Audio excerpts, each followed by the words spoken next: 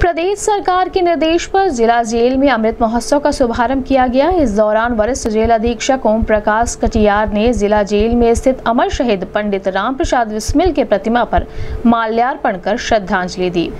जिसके संबंध में वरिष्ठ जेल अधीक्षक ओम प्रकाश कटियार ने बताया कि इसी जिला जेल में अमर शहीद पंडित राम प्रसाद बिस्मिल को फांसी दी गई थी तथा इसी जेल में उन्होंने अठारह से उन्नीस सौ सताइस तक रहकर बिस्मिल ने अपना समय गुजारा था।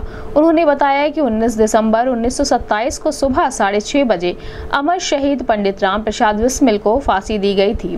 उन्होंने कहा, तब से इस स्थल को शहीद स्थल के नाम से भी जाना जाता है।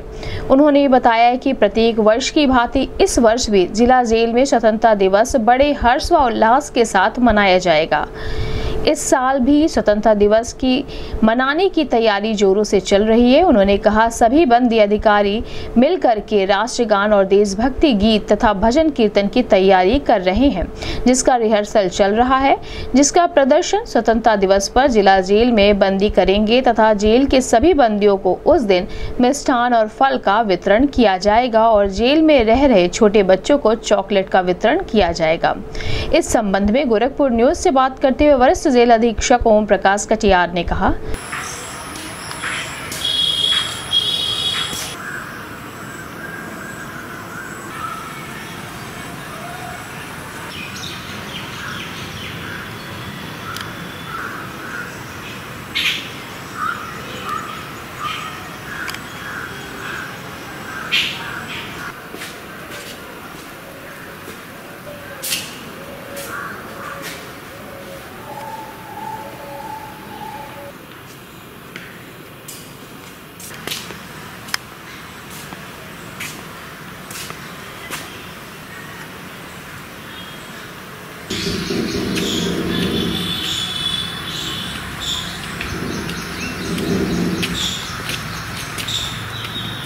जिसमें भी देखिए अजब छुट्टियों के काबिल की मूर्ति है मतलब आँखों में देखिए।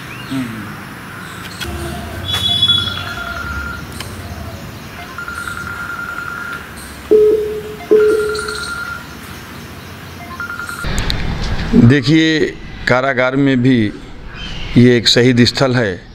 पंडित राम प्रसाद बिस्मिल को इस कारागार में फांसी दी गई थी।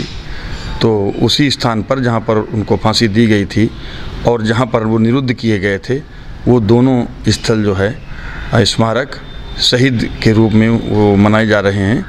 आज के दिन कार, जेल प्रशासन द्वारा और तहसीलदार तहसील का और भी अधिकारी कर्मचारीगण और जनता के भी काफ़ी लोग यहाँ पर आए थे।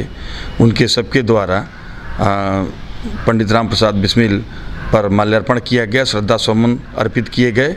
हम सभी जेल प्रशासन की तरफ़ से आज उनको सत सत नमन करते हैं श्रद्धांजलि अर्पित करते हैं।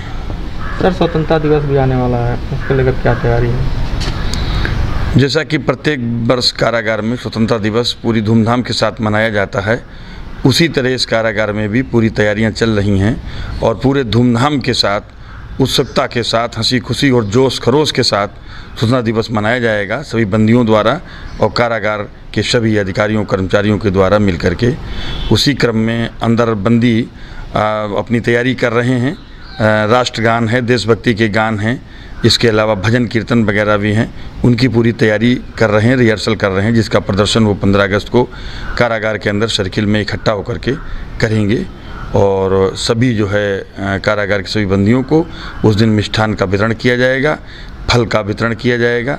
कारागार अस्पताल में निरुद्ध सभी बंदियों को फल और केला आदि का वितरण किया जाएगा। महिला बंदियों और उनके साथ रह रहे बच्चों को भी फल और केला और बच्चों को चॉकलेट आदि का वितरण जेल प्रशासन द्वारा किया जाएगा और पूरा ही कार्यक्रम पूरी हँसी खुशी और जोश खरोश के साथ जेल प्रशासन द्वारा मनाया जाएगा।